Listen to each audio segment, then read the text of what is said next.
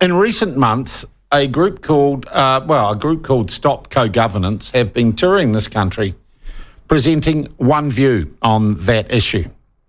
A view that suggests that we are paying too much attention to the Treaty of Waitangi and a particular policy, ill defined as it may be, called co governance, which appears to grant a certain group of people, Maori on their ethnicity, um, representation on certain statutory bodies and local government boards that because of their ethnicity.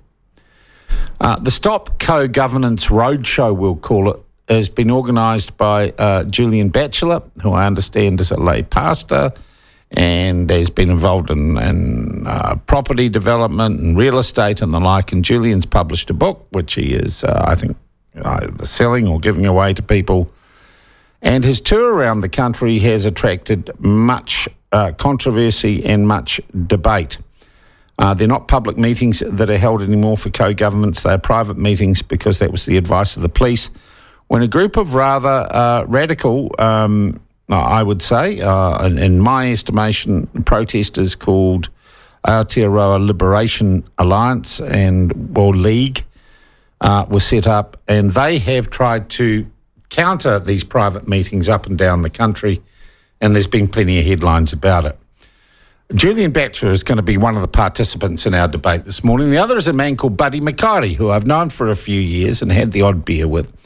Buddy Mikaere is Māori. He lives near Tauranga, uh, by the best of my recollection. Uh, Buddy is an author and historian and a consultant. In that wonderful way that people are consultants on things like the Resource Management Act uh, and environmental matters. Buddy was uh, closely involved in the clean-up after Rena and the issues that happened after the Rena disaster. Uh, he's dabbled in politics. And Buddy has come out and said of the co governance meetings, and he protested one a few days ago, he says they are particularly racist. Well, are they? And what is going on here? And can these two men find some meetings of minds? We are joined now for a debate by, and I don't know who's older, but I suspect it's Buddy, so we'll give we'll introduce him first. Buddy Mikaere, how are you? Kia ora. Good morning, Sean. Good to hear from you. Nice to have you with us, and I thank you very much, Buddy. Uh, for agreeing to come on and, and debate and discuss uh, with Julian. And uh, also joined, of course, by Julian Batchelor. Well, I suppose the founder and the spokesperson for Stop Co Governance. Julian, thank you for joining us this morning. Great. Thanks for having us on, Sean. Hello, buddy. All right. Now, do you two know each other? You ever met before? No, no I've never met, buddy. All right. Well, you do now. Okay. Now, I call this a debate. What are the rules? The rules are that we treat each other with respect. We speak our minds um, honestly, openly, and frankly. We try not to yell at each other if, if possible. Um, and I guess I'm the boss, guys, uh, though in many ways, it's up to you, you both, how this goes. I, I first want to start by just defining what we're talking about. Um, Julian Batchelor, as, in, as succinctly as you can, can you tell us what you believe co governance is?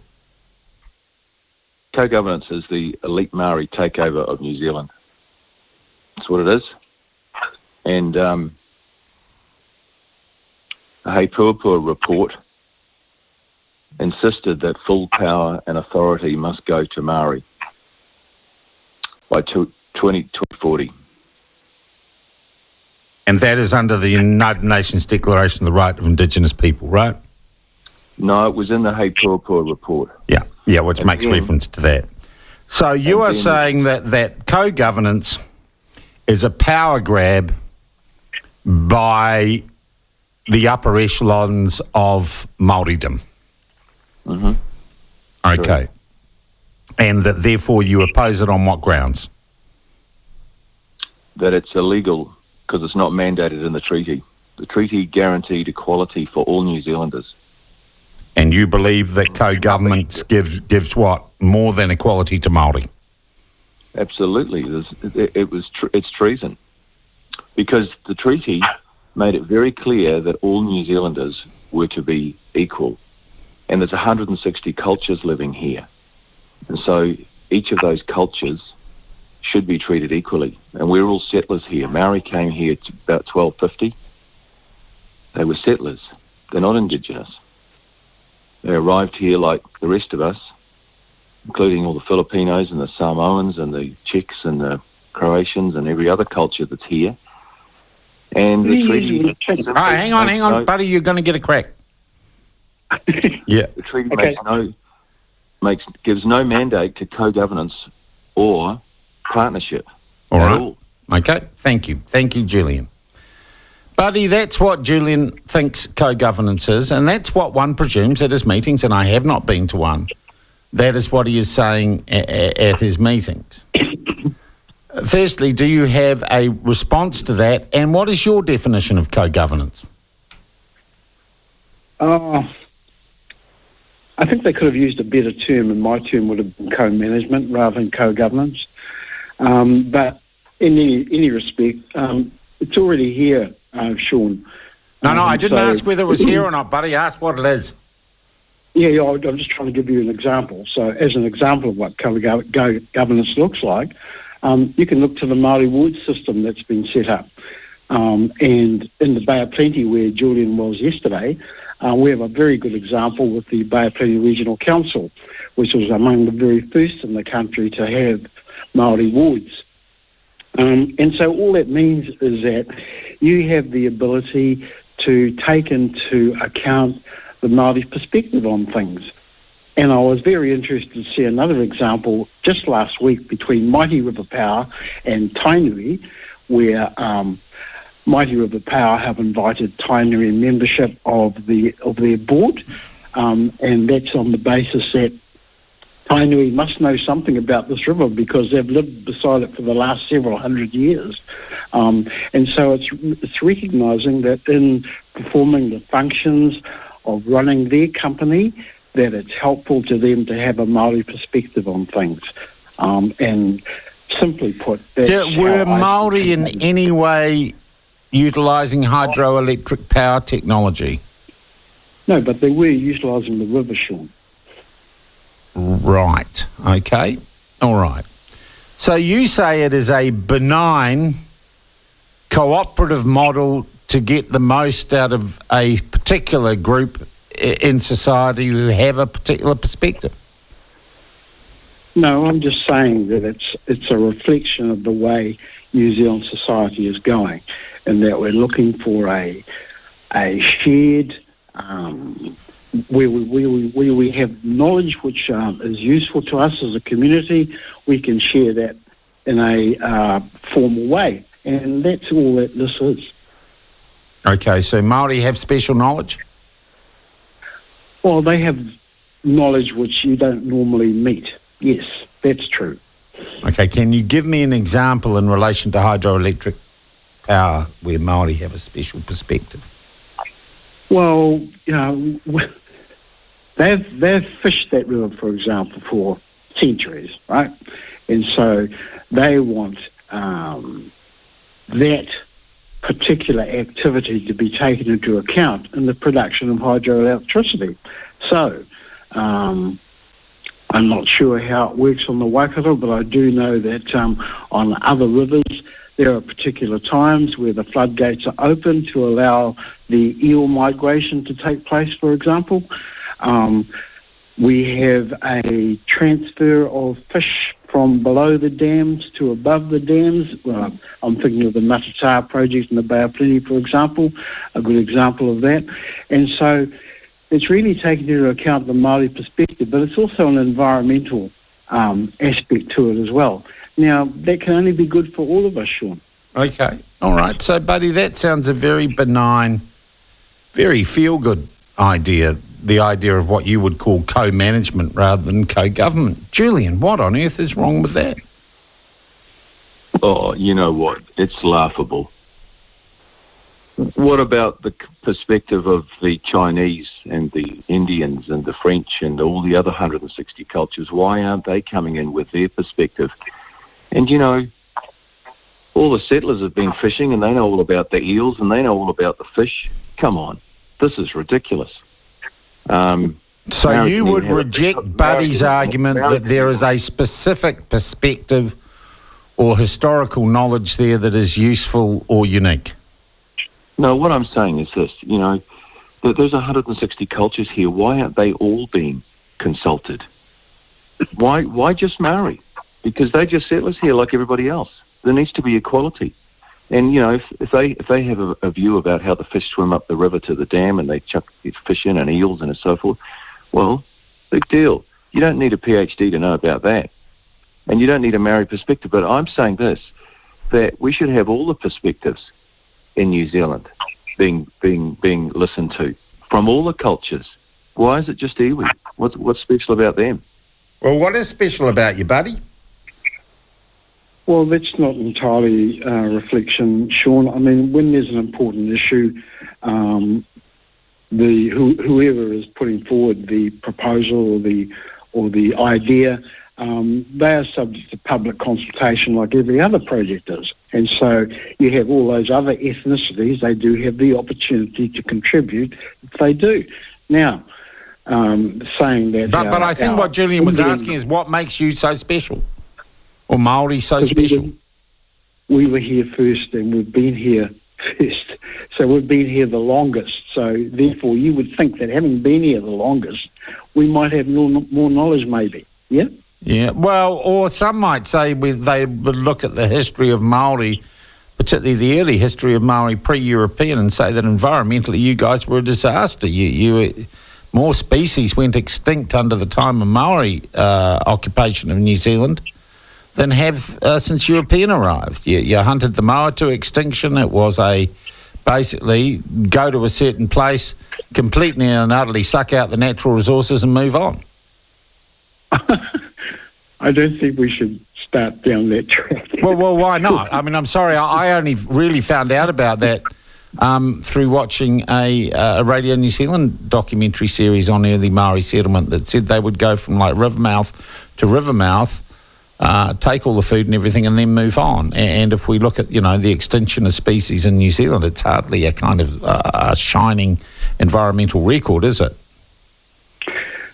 Well, you know, you live and learn in the environment, don't you? And so when you arrive in a new place, obviously, you know, you've got a lot to learn. And over time, you do learn what works and what doesn't work. And um, very sorry that uh, there are no longer moa here in this country. But, you know, if we want to look at the impact of colonisation, for example, we can Well, have I didn't other bring colonisation. Well, I suppose some colonisation. All right, buddy. Yep, yep. So, you know, we, we can have lots of other examples of how colonisation has been very harmful, not just to the environment, but to the people involved as well. So, um, you know, we're talking over a span of time, uh, how things have, ha- have worked out, what we've learnt during that time. And, uh, you know, right here in the Coromandel, for example, where I am this morning, um, we currently have a scallop prohibition on scallop fishing. And that's because too many people have been taking scallops. So the Maori solution is to apply a rahui, which is a ban Mm. on taking those those fish until they recover. Um, so you know you, you you learn about your environment over time, and all we're trying to do, I think, in these instances, is put that knowledge into effect. Hmm. Your response, Julian? Oh, you know, again, this is ludicrous. Maori arrived here about 1250. Europeans arrived in number, numbers about 1800. For 600 years, Maori did nothing in New Zealand, absolutely nothing. When the Europeans came here, they found that Maori didn't even have shoes, and they hadn't even invented the wheel. And yet they're coming across as the people with all this knowledge, and they did nothing for 600 years in New Zealand. And it wasn't until the colonials arrived that we set up government, schools, systems. Well, our side type of government, to be fair, Julian. yeah, but it was it was it was set up by the colonials, and the country actually took off once the colonials arrived. The other thing is that, you know, Maori were not the first people here. Maori Moriori were here. There was a good evidence that Celtic people were here. So, but it doesn't it doesn't matter because there's now we're living in 2023. There's now 160 cultures here. We should all be consulted.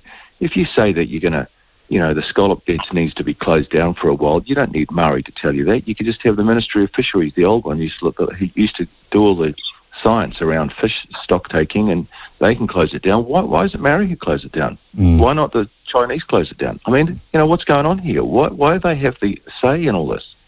Mm. Shouldn't oh. we be consulting with all the 160 cultures? Mm. We should. You know, like I was, I was with the mayor of Waimate, and we were sitting down in his office and talking to him, and I said, "How you getting on?" And he said, "Oh, we have a good relationship with the with the um, with the iwi here, and they push things across the line for me, and I push things across the line for them." I said, "That's very good." Well, what about how are you getting on with consulting with the Filipinos, who are most of the far- using you know the labour of most of the um, farming community? What about the Indians? What about the Thai people? What about the Czech people? What about the Croatians? What about the Dutch people? Mm. What about the so you would live in your ideal world, Julian, in a place where the, you know, the fact is, Buddy said we came, we were here first, or we were here before Europeans. Whether or not anyone was there before them, um, you know, history's rolled on, uh, and they're not culturally powerful now or involved in this debate. So you're just saying we would have a world where every ethnicity, every minority is treated the same and we don't have, as Willie Jackson, I think, has said, a country where Maori are special or do have different or specific rights. Correct. Okay. Buddy, because, Buddy, because you're, yeah, yeah, yeah, no, thank you. Buddy, you're yeah. quoted in the Herald as saying the co-governance uh, roadshow and what Julian's doing and the views he's just espoused are particularly racist. Um, why is that? Well, we had a meeting in Mount Maunganui last night that I was outside of. Um, I was told by the people on the door that I would not get in because I'm not a good Maori. now, this is a supposedly public event. Um, no, it's not actually, buddy. If you paid attention. well, um, I just say the, my understanding is that because of the disruption caused by groups like the Aotearoa Liberation League, Julian was obliged, uh, advised by police, and, and correct me if I'm wrong, Julian, to make these private events so that he no, could no, provide no, security. Is that right, Julian? Here's my, here's, my, here's my invitation, Sean, to hear Julian Batchelor, the author of this booklet, give an eye opening and inspiring public lecture on mm. co governance, what it is, why it's wrong, and why it must be stopped. Mount Maunganui Community Hall, blah, blah, blah. Yeah. It's free invite friends and family. It's free. Now, that's an invitation to enter, isn't it? Um, Julian, you want to respond to that? It's a private meeting, but the public's invited, so we filter people at the door. We're not racist in any way whatsoever. We filter people according to the according to their behaviour and according to their attitude. If they if they're going to wreck the meeting, and if they are activists who want to shout things out and be disrespectful to when I'm talking, then they're not allowed in. And so we open it to the entire public, but we filter people at the door, and it's not according to the colour of their skin. It's according to their attitude and their behaviour. And so oh, it's worked very well. That, was, that was following. That was following. Well, but, hang yeah, okay. Finish. I didn't interrupt you, buddy. That was that was following police advice, and we followed that, and it worked like a dream. It's working perfectly. All right. So Julian, so Julian is saying that isn't racism, buddy. That is discretion to ensure that people inside that meeting do not try and disrupt and stop that meeting. That's not really was, racist, is it, buddy? I was there at the door, Sean, and the first criteria for judging whether someone's going to get in or not is what colour are you? And brown people were stopped and questioned. Now, you know, how do you determine uh, beforehand whether someone's, uh, in their own words, a good Maori is going to sit there quietly, or one is going to ask sensible questions. You know, it's that, that that's part of it. I don't know how you determine that. Um, when the first criteria they're using is you're a brown person, you're not coming in.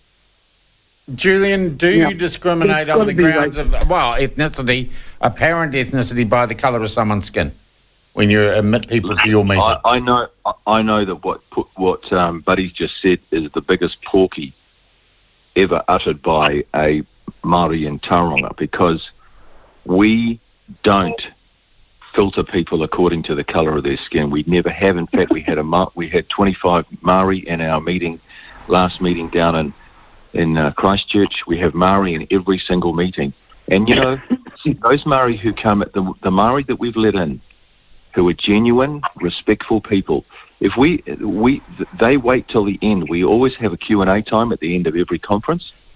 And they wait like everybody else. And, the, and doesn't matter. We have Chinese in there. We have all sorts of ethnicities come into our meetings. They all wait to the end for the Q&A time. And if they don't, we turf them out. That's how it works.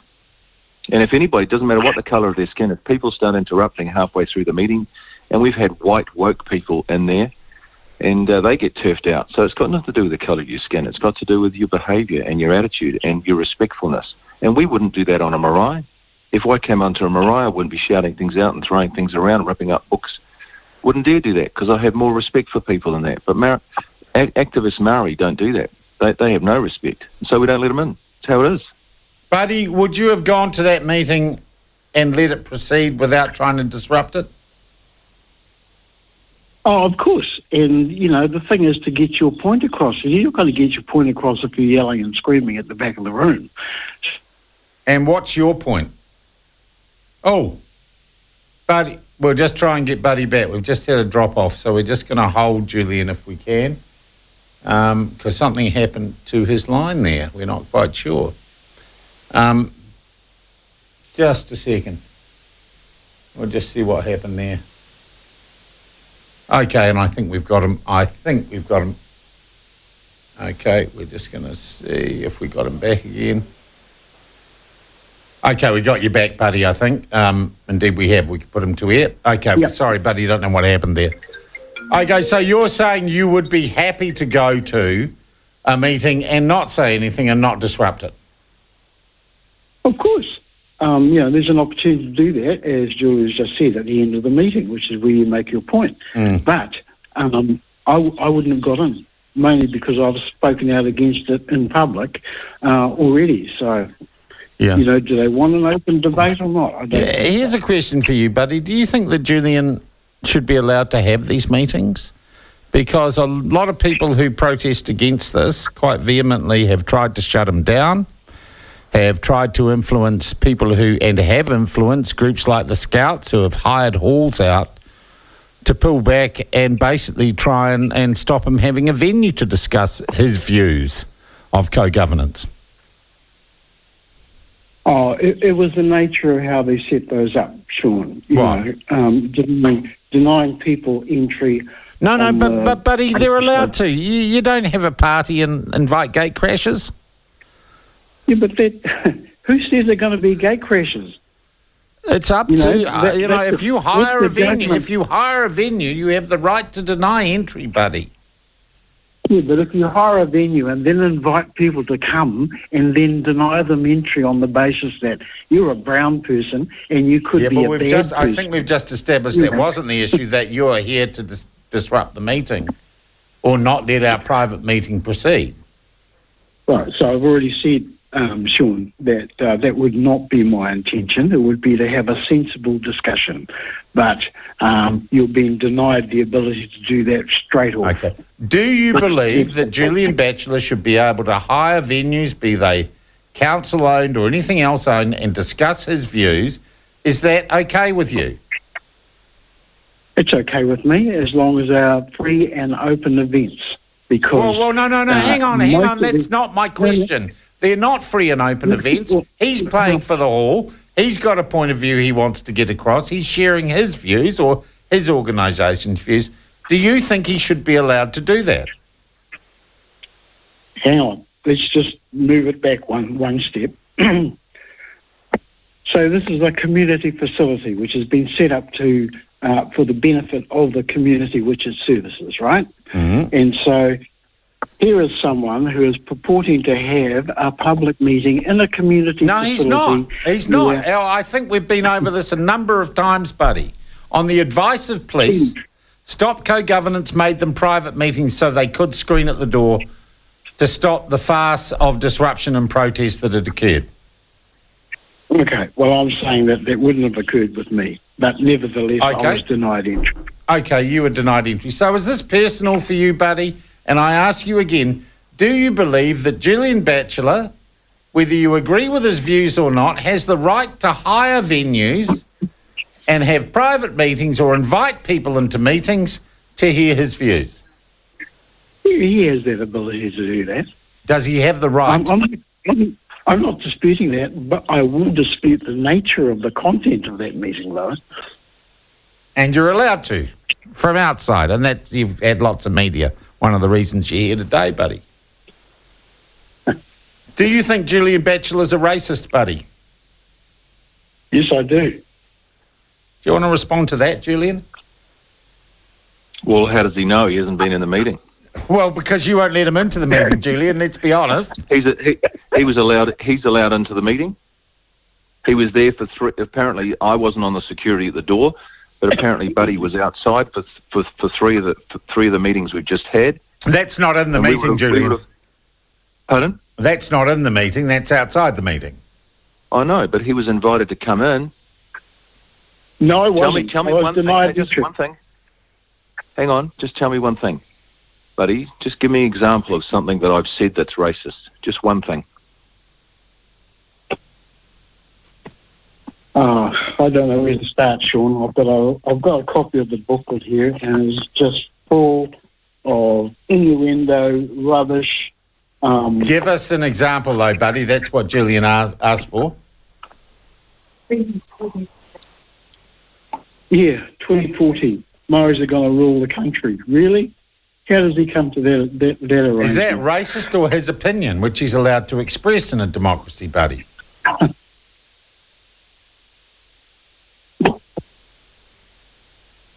buddy?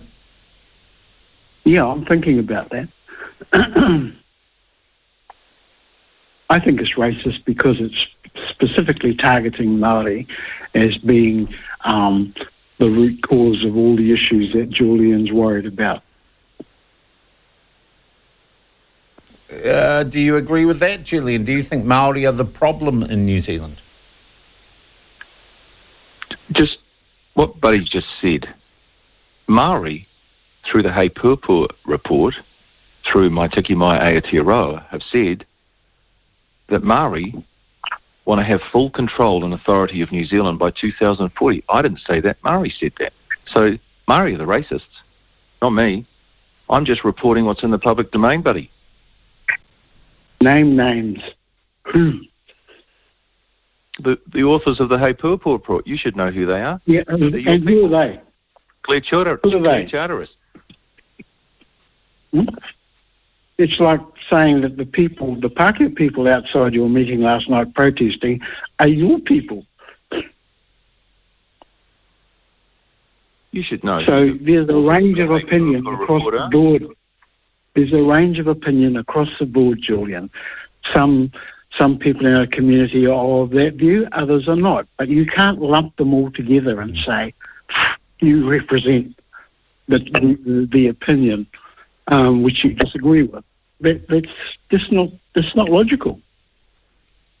It's very logical. If it's coming out of the government and it's in the public domain and we pick up on it and we say this is what's being planned at the top levels of Maoridom, then all the public need to know. And that's why we're having public debates and public. Um, Well, I don't know that you are having public meetings, Julian. You're having meetings that are open Well, to we're select members of the public. We're opening, we're opening the discussion to the public, to anybody who wants to be respectful, Yeah. who wants to come in and listen and ask questions at the end.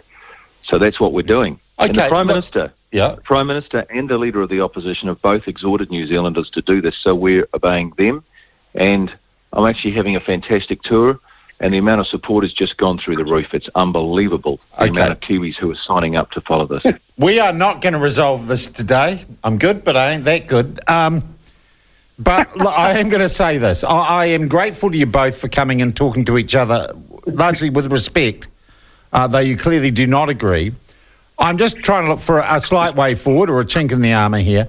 Um, not a well, not a chink in the armour. Some some way to develop this. Buddy, would you would you go to a meeting uh, of Stop Co Governance, listen, and, and take the opportunity to ask questions at the end without trying to shout anyone down or scream racist at anyone? I don't think I need to do that, Sean. We've had um, uh, good Pākehā people uh, attend the meetings, uh, given me a full breakdown of what goes on in there. Um, I don't think I'd gain anything useful from being okay, here. So anyway. you're not going to And- and I engage? think- and no, I think you put your finger on it already, Sean. That um, the the two views are not reconcilable from what I can see. Well, they anyway. have to be because we all live together, buddy. We got to find a way. Uh, there, there is a solution, Sean. And um, the solution that I'm looking at is that the particular demographic that Julian appeals to is aging. And um, you know, as my father says, you've got to live with uh, with what God gives you. And so we've got these people who um, let them outside, please, hon. Um, so um, the New Zealand of the future is going to be a different one to what we have here today. And those people that Julian aspires to um, have on his camp, um, they're all going to die. and their grandchildren will take our country forward, and their grandchildren already are part of the evolution of our community and society, um, Sean. I mean, these are the kids who now stand up and very proudly. Okay, buddy, do you do you think that the He Puapua report? I presume you've read the He Puapua report. Well, I haven't actually because you know it just represents a particular portion of the Maori community. Okay, okay, and you'd say a more radical or ambitious one. Well, yeah, the same as there are in the wider community. You have you know, a range of opinions, right? And that's just one end. All right. So you don't, you won't go to a stop co-governance meeting, even though you started this debate today saying you were upset that you weren't let in. Julian Batchelor, would the invitation still stand to Buddy to come along and listen? You know what, buddy? You get a thousand Maori onto Marae and, and Tauranga, or as many as you like, I'll come and speak. How's that? I'm all for the brown skinned people. In fact, I'm working for the average Maori, and I'm batting for them. And if you were in the meetings, you would see that. And last night, I asked the packed house at that community hall at the very end, I said, So what do you think? Am I racist? The answer was absolutely not. Am I batting for Maori? Absolutely. Are you betting for? Am I betting for the 160 cultures living in New Zealand? Absolutely. It was unanimous. And if you'd been in there, you would have seen that. So you get a thousand Maori on the Marae from me, buddy, and I'll come and talk to the whole lot, and then we can have. You keep them all respectful, and I'll come and I'll speak and I'll give the seminar, and I won't water it down. I won't be woke, and I won't be peace, and I'll come and talk to the whole lot. How's that? There's a challenge for you. Buddy? What you had in your room last night, Julian, was a whole bunch of white people over 70 who, of course, they're going to agree with your views because that's what they came to hear. You didn't have Chinese people, Indian people, Filipino people, Maori people in that room. So, you know, don't give me that border dash, mate. How do you just know you nonsense. weren't in there? And I wouldn't, How do you I know- would how not you know waste my weren't there? time. I would not waste my time getting a thousand Maori people to take time off work to come along and listen to all your drivel. So I'm sorry, mate. All right. Could I If get you- an if undertaking to- from both of you? You have talked today. I don't know we made a, a blind bit of difference or progress. But would you both agree? And Julian, there has been some uh, controversy. You said you talked to people. You weren't inciting civil war or armed uprising. You said you talked to people who said they were buying guns for the day. Can we both agree that even though it's difficult, can we all agree that even though it's difficult, violence, shutting other people down, and removing anyone's rights in any situation is not the answer to the difficulties or the difficult conversation that we are having right now, buddy? Um, Sean, I've just come back from the States and I spent three weeks in the Deep South. And um, while I was there, I took the opportunity to speak with members of the Ku Klux Klan, um, talking about what, you know, what's driving all this. And I can see exactly the same thing happening there because they said to me, America is a very fearful society. We're taught to be scared of every, everything that's new or different. And that's why the Klan continues to thrive. It's because you have this ongoing fear that something's going to change, that the world you understand Yeah. and know is no longer be Yeah. like that. And that's exactly the kind of drivel that Julian is pushing here. Yeah, but things He's- are changing he's- here, uh, buddy. He's appealing to. Buddy, look Yeah, at look at look at policies around health. Things are changing. You can't Yes, deny that. that's right. I'm not denying it, but he is. He's saying it's separatism, but it's not. It's an evolution, and it's it's addressing the societal problems that we have. Okay. You know, Uh, what why I is it that you was, would you bottom- agree that violence against each other and cancel and cancel culture is not the way to address whatever issues we have? No, not violence is not the answer. That is a, a nice place to end for you, Julian. Would you agree the same that violence against those you disagree with uh, is not the answer to whatever problems we face? I have always said that. I said I've said in my seminar the only weapons I use are my brain, my mouth, and my pen. And we sold 350,000 of our books in 14 weeks, Yeah. which proves the point. The pen is more powerful than the sword, and, and that's all we need. Weak people revert to violence, and we're not weak. Okay, I'm. Can I just say thank you both of you for taking part this morning. Um, as I said, I don't know how much progress we've made, but at least being able to talk and engage, uh, I think, is a positive in what is a difficult conversation this country is having uh, with itself. So, Buddy uh, and Julian, uh, thank you very much indeed for your time this morning, and I wish you both well. Thanks, buddy. I'll Cheers. still Cheers. Uh, Buddy Mikaere and Julian Batchelor. What did you make of that? I've got lots of text there.